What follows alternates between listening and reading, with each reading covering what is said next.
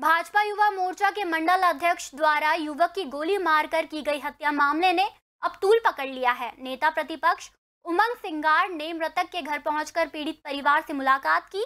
इस दौरान उन्होंने परिजनों को एक लाख रुपए का चेक भी दिया। सिंगरौली में लाले बंसल हत्या मामले में कांग्रेस आक्रामक हो गई है। मुख्यमंत्री डॉक्टर मोहन यादव ने पीड़ित परिवार को 10 लाख रुपए का मुआवजा देने की घोषणा की है, जिसके बाद राज्य मंत्री राधा सिंह ने मृतक के घर पहुंचकर उसके परिजन को चेक सौंपा। इधर कांग्रेस के नेता भी पीड़ित परिवार के घर पहुँचे। नेता प्रतिपक्ष उमंग सिंघार ने पीड़ित परिवार से मुलाकात के बाद भाजपा सरकार पर हमला बोला।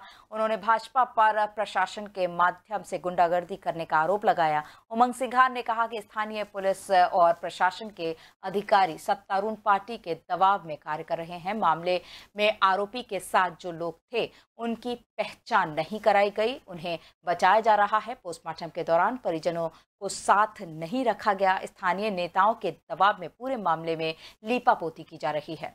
डर दिखा और जिस प्रकार से पुलिस प्रशासन ने इनके साथ भेदभाव किया, इन्हें बताया, उन्होंने कि हमें पोस्टमार्टम के समय हमें कोई सूचना, जानकारी नहीं दी गई, ना इन्हें पास में आने दिया गया। और जिस प्रकार उसके भाई ने बताया मतक के कि ना मैंने कोई साइन किया कल यहाँ राधा आई थी पच्चीस हज़ार दे रही थी, लेकिन साइन करवा रही थी। कौन सी कागज़ पर साइन करवा रही थी? मतक परिवार के?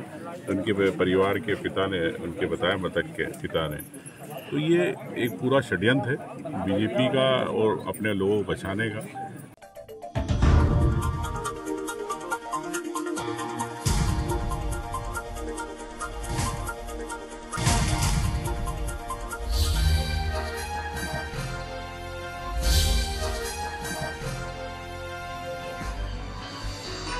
आप देख रहे हैं दखल न्यूज़।